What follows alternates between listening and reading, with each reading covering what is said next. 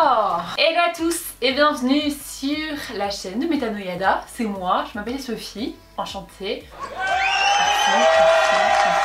Aujourd'hui je vous retrouve pour une vidéo un petit peu nutrition, nutritive, voyez ça comme vous voulez, ce n'est pas grave. Du coup on va parler de cette clé pour une alimentation saine et équilibrée. J'espère que ça vous plaira. C'est parti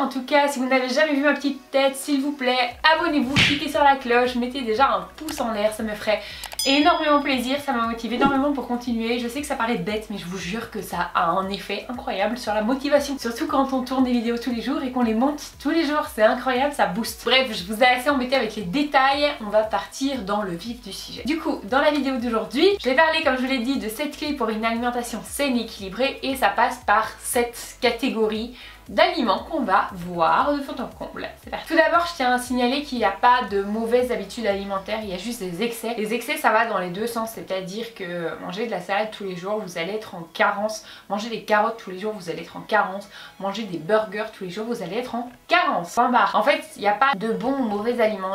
Mais vous savez, moi je crois pas qu'il y ait de bonnes ou de mauvaises situations. C'est juste une question de dosage, de trouver la bonne quantité, ce dont vous avez besoin en fait, les nutriments qu'il vous faut pour votre mais on a cette catégorie d'aliments qui regroupe la base. Ça veut pas dire que vous ne pouvez rien manger hors de cette catégorie, mais assurez-vous d'avoir au moins ces 7 catégories par jour, c'est vraiment important. Petit disclaimer également, je pense que je ne l'ai jamais dit en vidéo, je suis végane et là ça va être une vidéo généraliste, donc je ne parle pas vegan dans ce cadre-ci, donc je vais aborder forcément des aliments que je ne mange pas. Je suis en très bonne santé même si je suis végane, je suis loin d'être faible, pas de soucis. Et puis si vous avez envie d'une vidéo un petit peu plus végane, un peu plus euh, explicative sur comment adopter le régime ou quoi que ce soit, ben en tout cas n'hésitez pas à me dire en commentaire, je le ferai avec grand plaisir. Assez parlé, on commence par la première catégorie, à savoir les fruits secs. Alors les fruits secs, c'est un aliment qui est plein de lipides. Alors souvent on fait la chasse au gras et c'est à tort parce que on a énormément besoin de lipides pour que notre corps il fonctionne correctement. Faut bien distinguer les bons et les mauvais gras. Ici forcément on est sur des bons gras. Pour faire relativement court, je vous donne juste un exemple. Faut savoir que les lipides c'est ce qui sert à créer la membrane cellulaire en gros, c'est ce qui entoure vos cellules. C'est la base, la cellule. C'est important.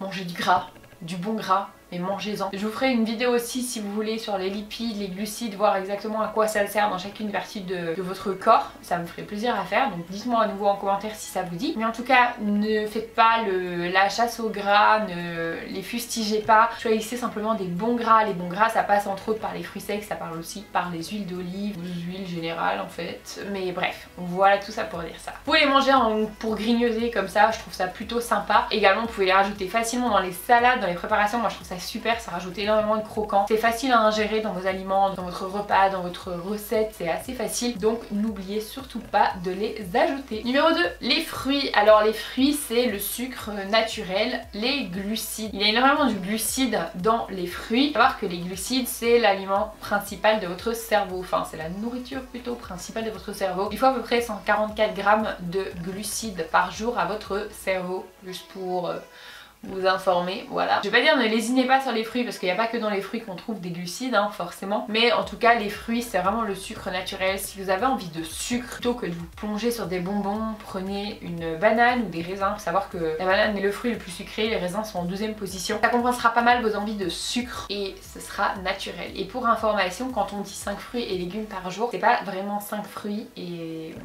de légumes. Partez plutôt sur du 4 légumes et un fruit, c'est très très bien comme ça. Numéro 3, les huiles végétales. Bon, je vous en parlais un petit peu plus haut. Ça fait partie également des lipides bons et nécessaires à votre corps pour être en bonne santé. Lors de vos cuissons, préférez largement les huiles au beurre. Pour vous expliquer, je vous en fais court. Le beurre, quand on le cuit, ça casse des liaisons chimiques, ça en crée des nouvelles qui sont pas très très bonnes pour vous. On évite. Prendre des huiles végétales et de préférence des huiles végétales qui résistent bien à la chaleur comme l'huile de coco. Après euh, tout ça c'est pour la cuisson. Après dans les salades vous pouvez mettre de l'huile de noix, de l'huile d'olive, il y a tellement d'huile donc faites-vous plaisir. Et à titre informatif on recommande à peu près en termes de gras, en quantité de gras, une cuillère à soupe d'huile d'olive par jour c'est pour vous rendre compte. Donc n'y allez pas fortement non plus, mais là je m'adresse plutôt à tous ceux qui ne veulent pas de sauce dans leur salade, etc. Parce que le gras c'est mauvais c'est faux. Et assurez-vous d'avoir les quantités minimales nécessaires. Numéro 4, les légumes. Alors forcément, ben, comme je vous le disais un petit peu plus tôt, on prend plutôt 4 légumes pour un fruit. Les légumes, contrairement aux fruits, en fait les fruits ça va vraiment être quelques vitamines globalement. C'est pas si chargé en vitamines que ça. Par contre les légumes, on est sur de la bonne grosse dose de minéraux et de vitamines. C'est vraiment là que votre corps il va aller puiser tout ce dont il a besoin. Si vous voulez voir si vous êtes en bonne santé, regardez l'état de vos cheveux. Si vous avez des cheveux cassants, si vous avez des cheveux fourchus, si vous avez des cheveux ternes, ça renseigne énormément sur les minéraux que vous ingérez ou pas en fait justement si vous êtes en carence.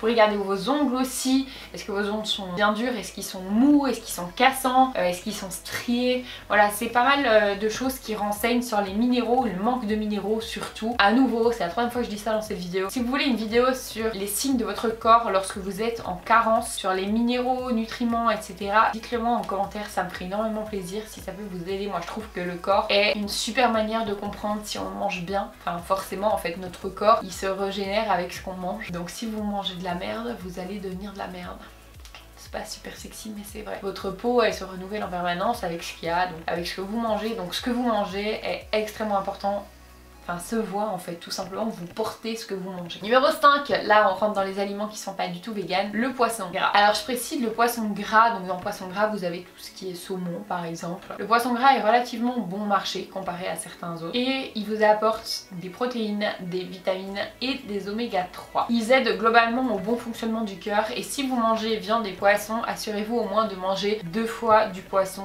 par semaine. Numéro 6, à nouveau pour les non véganes, de la viande blanche et je précise bien bien et je précise bien la blanche parce que la rouge est à limiter énormément. La viande blanche est une viande maigre. C'est plutôt économique et dedans on retrouve tout ce qui est volaille, lapin, etc. Et forcément vous faites le plein de Et septième catégorie, pour moi les plus importantes surtout au vu de mon alimentation, ce sont les légumineuses. Les légumineuses c'est la base de l'alimentation végétale. Ce sont des aliments qui sont très riches en fibres, en vitamines, en protéines, en minéraux. Il y a énormément de choix, ça peut être les haricots, les haricots rouges, les blancs, les belugas, pois chiches, les lupins, le soja, les fèves, bref il y en a 40 000. Et même si vous n'êtes pas végétarien ou vegan ou ce que vous voulez, bref que vous mangez de la viande et du poisson, il vous en faut. Parce qu'en fait l'avantage c'est que dans une petite quantité vous avez tous les nutriments nécessaires, donc intégrez-les dans votre alimentation, c'est vraiment important. Voilà, c'était une vidéo assez courte, j'espère qu'elle vous aura plu. À nouveau, si ça vous a plu, n'hésitez pas à vous abonner, cliquez sur la petite cloche pour recevoir les notifications, un petit commentaire, une question, ce qui vous passe par la tête, peu importe. Mettez-moi un like, ça me fait extrêmement plaisir. Sachez que vous pouvez aller sur le blog pour lire tous les autres articles. Il y a également un test de personnalité, je vous mets le lien en barre d'infos, n'hésitez pas à cliquer dessus. Et puis moi, je vous dis à demain pour une nouvelle vidéo dans le cadre de mon défi 31 jours 31 vidéos. À demain